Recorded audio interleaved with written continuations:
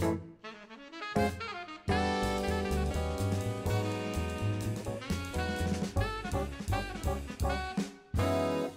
name is Josiah Koppanyi, and uh, I am a full-time artist.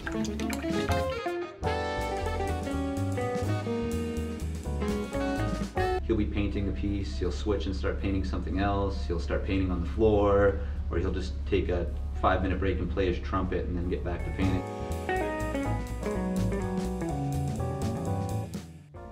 Started noticing a similarity to the music I was listening to and the uh, and the colors I was using on the canvas. Josiah will switch between, you know, old school rap to jazz to David Bowie to 50s bebop. And so you, just you pick the pairings of the notes that sound really good together. The three notes on the scale from like C to C, and then that's an arpeggio. I started thinking about that with the painting because that's the exact same thing that I was doing in the painting. It was uh, picking the pairing of the colors that look really good together, and and that was my arpeggio for for the uh, for the color palette. Very simple with the color, like five colors.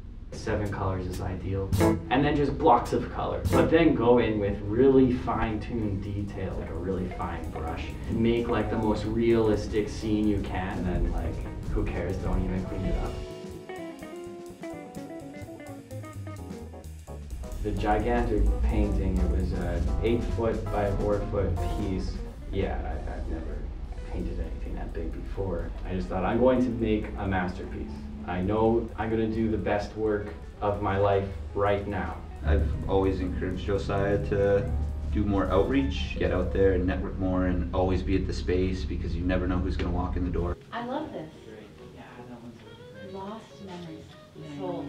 Sold. Yeah? Yeah, sold. Oh, Buy it. wow. I love it. Oh, wow. Oh my god! Yeah. Well, hey, I'm I so love. I like kept drawing back to it, and then I saw the two birds. I was like, "That's it. I know that works." so today's the Very day. cool. Today's the day I owe my first piece. Very, very. Many cool. more to follow, I think. Oh. I went, was going to get coffee, and I, for some random reason, I looked to my left, and I recognized the artwork. So, and I'd wanted my own piece, and uh, so I figured I'd go look and come and say hi, and found my first piece on my own. Yeah, I'm we- very happy. Like we've gotten to meet a lot of artists and people in the community, uh, both art, fashion, music. Um, got to meet a lot of these people together, and we've become a bit of a pair. So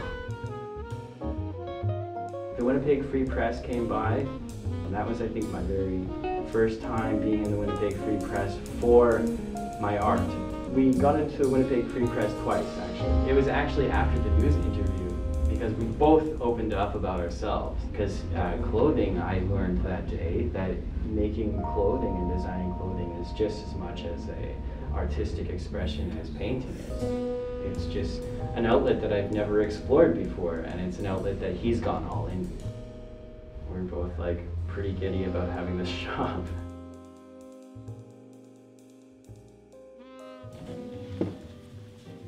Yeah, how's it going?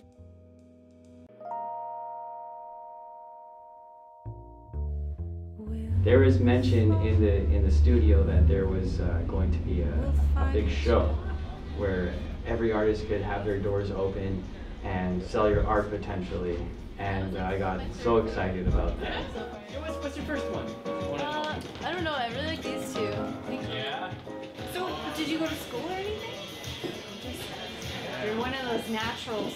I use hours, you know, like. We're watching so J O.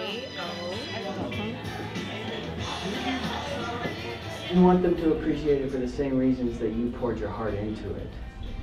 It's like I poured my heart into this thing, and I want them to like see that part of it because that was where the sacrifice was. That's where you really devoted time and energy into making just right, and you want somebody to like buy it for that reason. And when they buy it for some completely different reason, you're like, okay. I'm glad you like it. In your own way, which should be just as appreciated, I feel. But it's just something that you as, a, as the creator don't understand.